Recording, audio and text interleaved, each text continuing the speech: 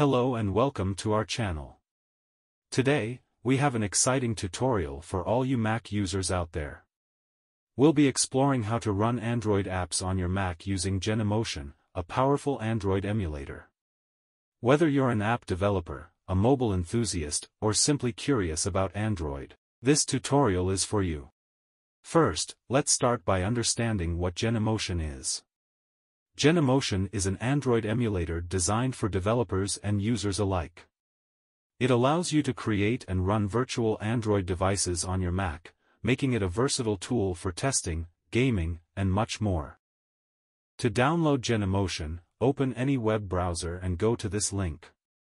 You can also found download link in the video description. Now, click on Download for Mac OS. Wait a few moments. After download completed, open Download folder and double-click on it. Now, drag and drop Genymotion Shell and Genymotion to application. Close this tab and open Launchpad. Here, you can see Genymotion Shell and Genymotion icon. Now, open Genymotion. Click on Open. Here, you have to sign in. If you don't have any account, just click on Create Account below to create an account. After giving login details, click on Next. And choose Personal Use. Here, agree with terms and condition, and click Next.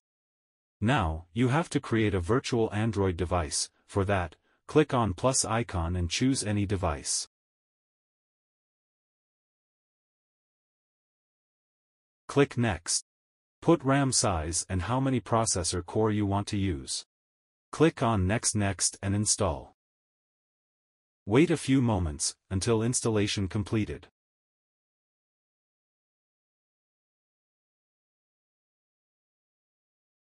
After successfully install, click on Start. To allow camera access, click OK. We have successfully set up Android device on our Mac. Here, we can't find any Play Store. To activate Play Store, click on Open G Apps and, click Agree.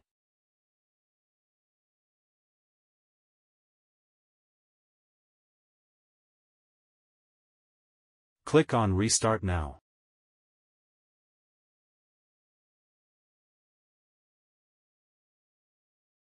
After restart, we will get Play Store. Let's open Play Store, and set up an account.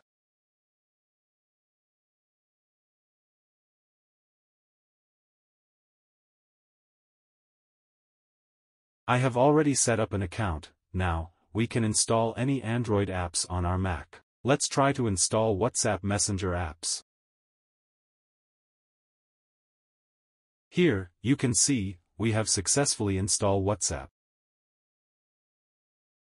If you found this tutorial helpful, don't forget to give it a thumbs up, share it with your friends, and subscribe to our channel for more tech tutorials and insights.